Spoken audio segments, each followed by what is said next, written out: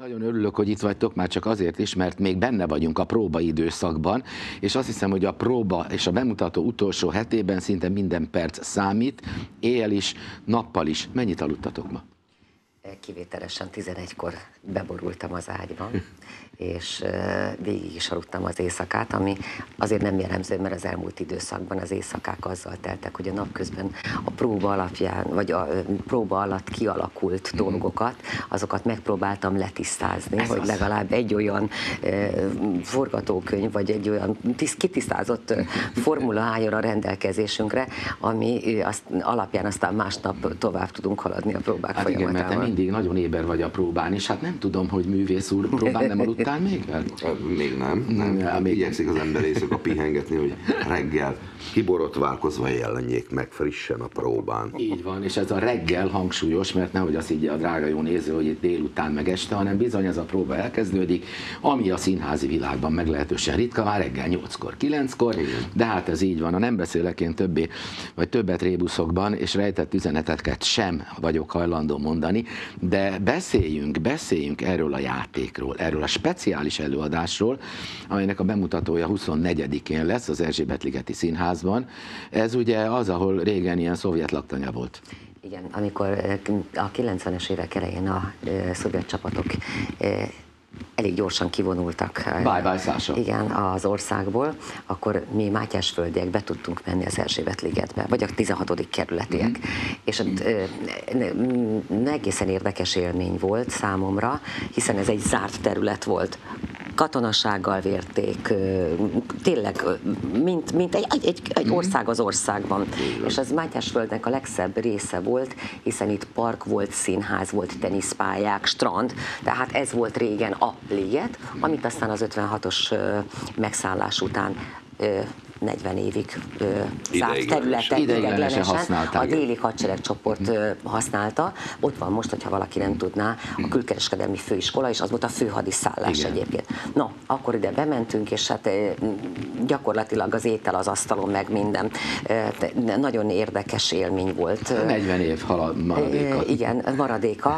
A lakásokba is be lehetett menni, és relikviákat lehetett vinni, vásárolni, uh-huh. és akkor ebből egy ilyen jótékonysági alapot hoztak létre. Na, akkor én azon a színpadon, amikor bementem a színházba, akkor ilyen nagyon csúnya szürke színház volt az, akkor azt mondtam, hogy nekem itt a Lili Marlent kell énekelni. És Utána akkor? Lili Marlent elénekeltem már, most egy új játékra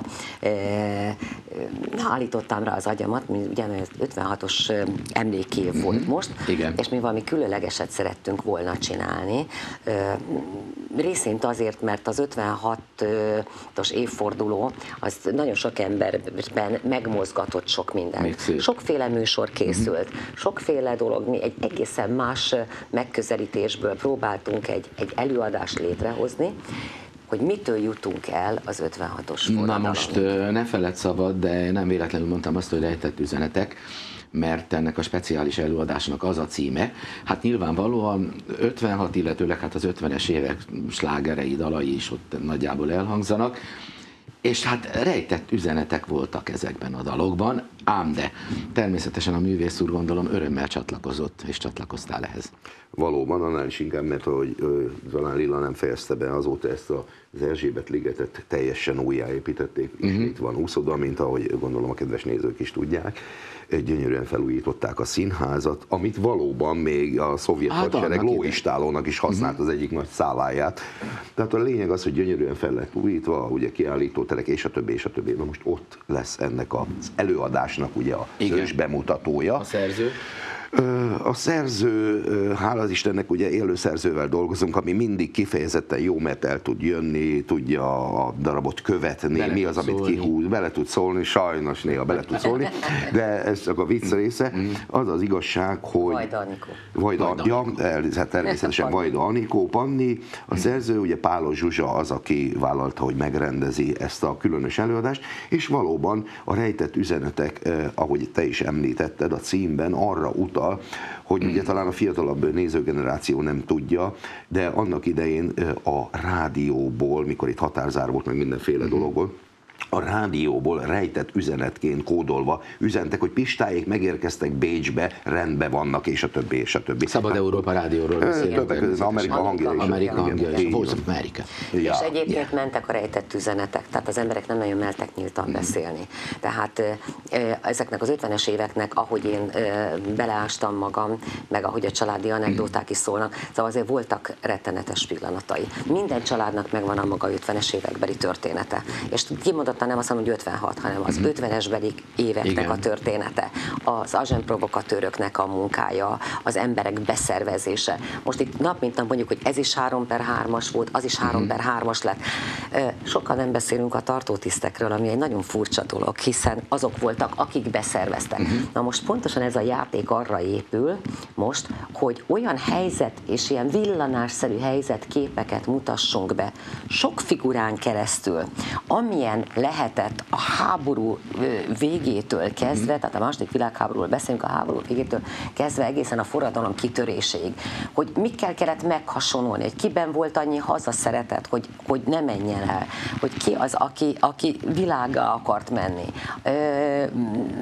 ki az, aki, aki, aki retteget, ki az, aki könnyen beszervezhető mm. volt, ki az, akit, akit a, a szerelmével Meg aki kintről figyelte az eseményeket, és én nem akarok itt személyes dolgokról beszélni, de volt szerencsém jó néhány interjút készíteni Cseke Lászlóval, aki nagyon-nagyon sok mindent, hát már itt Magyarországon elmondott az akkori Szabad Európa rádióról és az üzenetekről, hogy a fehér galamb átjutott, stb. stb.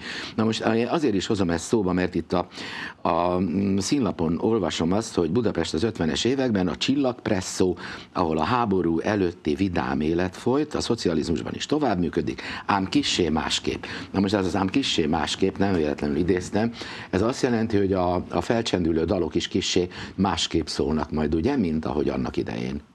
Hát teljesen természetes, hiszen a zene az, az egy olyan örök dolog, amelyik az embereket sok mindent, sok mindenen át tudják segíteni. Mint és, és Össze, össze is köti, ahogy Péter mondta, össze is köti az embereket. Új hangszereléssel kerülnek azok a régi mm. melódiák a nézők és sokszor nem is énekelve, hanem csak dalomvilágába vagy mm. rádióról szólalnak meg, nem is egy teljes egészébe, tehát ilyen kis szemelvények vannak benne, mm. természetesen lesz olyan dal is, amit végig éneklünk, mert, mert mert, olyan csodálatos. A Zoli fiam, mm. aki ennek a tévének a kreatív igazgatója, ő hangszerelte őket újra, nagyon egyszerű hangszereléssel, mm. viszont nagyon, nagyon mai hangszereléssel, és a szívben markolóak. És akkor nem mindegy, hogy ha már most szóba került természetesen a zene, hogy akkor ott a, a színházban, ott gondolom nem lesz egy Big Band, hanem hogyan csendülnek föl a dalok.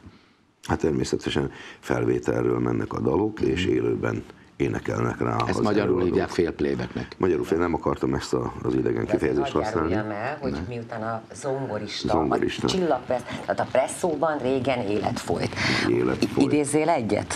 Délben Ó, érkeztek a... Délben érkeztek az urak, reggelizni, délután jött az író úr, a tanár úr, a mérnök úr, Igen. hétvégén a bárműsorra, uh-huh. csak az, aki tehetős volt, mert akkor lépett föl Micike és Trixi, a kiváló Na, szóval nem véletlenül mondtad Lilla, igen, szóval azért a zongora az ott van. Igen, tehát a zongorista Péter, zongorista és vagyok. zongorázni is fog. Úgy igen. kell elképzelni ezt az egész műsort, előadást, mint egy olyan festményt, ahova csak ilyen színfoltokat, ilyen pamacsszerűen az 50-es évekből, jó is, rossz is. Uh-huh. Egy zene, hiszen a humor nem hagyta el akkor sem az embereket a legnagyobb bajban. Van. van néha a leg, tudom, akasztófa humor, de ezek a színek is ott vannak, uh-huh. és nyilván azok a tragédiák mind, azokat idézzük meg. Akkor te vagy az zongorista, Lilla? Igen. Hát... Lila több szerepben lép fel. Mint a vidéki Több darabban tudod, szeretnék mondja, látni. Hogy, hogy szerepem szerint, szóval szerepem szerint, ahogy a forgatók, vagy ahogy a pályázatban is, tehát különböző figurákat próbálunk meghozni.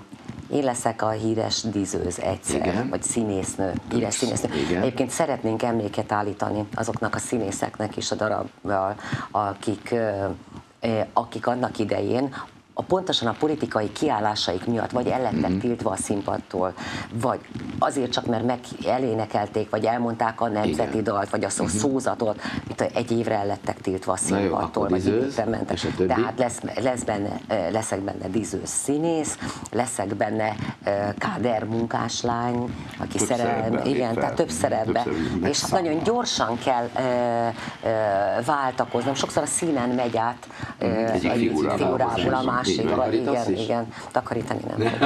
hát a takarító nő, ugye? Hát az, a, na most, az az egy rész kimaradott a Na, szóval félretéve a tréfát ö, ketten. telepítés is benne. Tehát mindent próbáltunk, uh-huh. mindenféle ö, jellegzetes 50 évbeli ö, eseményt belehozni. Hárman fogjuk alakítani a, a Megelőztél nagyon jó, a harmadik kicsoda. Van, tehát Lilla mellett a kiváló Bardóci Attila is több Igen. szerepben lép fel, ebben a körülbelül talán 70-80 perces előadásban. Szünet nélkül megy az előadás. Szünet nélkül. Na most nem titok manapság létrehozni egy előadást akárhol, vagy kisfilmet, vagy bármit, az most már nem megy támogatók és pénz nélkül. Tulajdonképpen ebben az értelemben hogy született az előadás?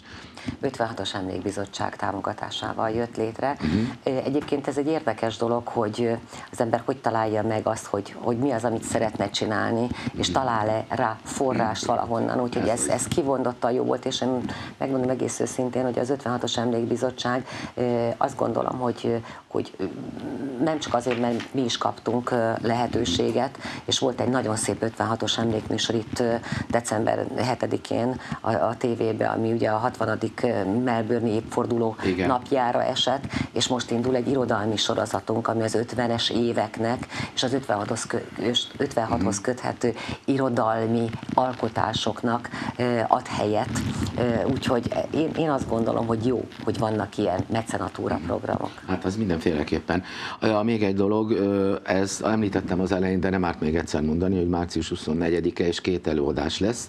Egy 11-kor délelőtt, egy meg este 7 óra akkor. Ez a matiné hogy jött? Mert ahol két előadás szokott lenni színházakban, ott általában háromkor, nagyon, meg kétkor. Az előzetes érdeklődések alapján kellett két műsort betűznünk. Nagyon nagy az érdeklődés. Egyébként, ha, ha szabad elmondani, a belépés az díjtalan erre az előadásra, tehát mindenki. Pontosan azért, mert támogatásból Nagy szeretettel igen. várunk. Na de gondolom azért jelentkezni, regisztrálni kell, mielőtt még ott sorálás Természetesen ki van írva, hogy regisztrációhoz Értem. kötött az előadás, mm. de ettől függetlenül én azt gondolom, hogy aki, aki eljön és nem regisztrált, de hallja, és szeretne ott lenni, az be fog tudni. Jönni. Még egy dolog, hogy ha már szóba került tényleg a támogatás, akkor ezek a támogatások, és nem titok, hát itt a hatos csatornán is sok ilyen műsor van, abból kiderül, hogy hány műsort kell csinálni, stb. stb. Ez most kettő, erre szól, vagy esetleg lesz folytatás? Hát mi azt szeretnénk, hogyha lenne folytatása természetesen, és pont azért akartuk, akartunk egy olyan, olyan műsort csinálni, ami nem kimondottan az 56. évforduló, uh-huh. vagy 56 os forradalmi évfordulóhoz köthető. Csak akarom emlékeztetni nézőket, hogy a Tanú című film hasonló egyszerűen örök, mint a csillagpresszó, időtálló. Tehát e, e, pontosan azért olyan történések vannak benne, amik, e, a, a, amik, amik mindig aktuálisak. Sajnos az emberek jelleme változik, ezt sajnos tapasztaljuk. És nap, hát ugye örök szimbólum, hogy csillagpresszóban játszódik tulajdonképpen ez a darab, és azt tudjuk, hogy a csillag szó megmarad, csak néha a színe változik a, az évek Igen. folyamán. Vagy esetleg a helyszíne, mert csillagbörtönről is hallottunk már. Ne, nem rossz ötlet, nem rossz ötlet. Na de, de tulajdonképpen... Poéngyártónak meghívjuk Mielőtt még azt gondolnák a kedves nézők, hogy itt most egy szomorú, vérgőzös politikai előadásról van szó, azért azt, azt tegyük hozzá, hogy ugye lehet majd mosolyogni is, mert sok, a humor... Sok humoros helyzet van teremtve benne. dalok, és hát egy, egy, egy leírat, leírat egy korlenyomat. Titkok üzenetek, dalok Köszönöm az 50-es években.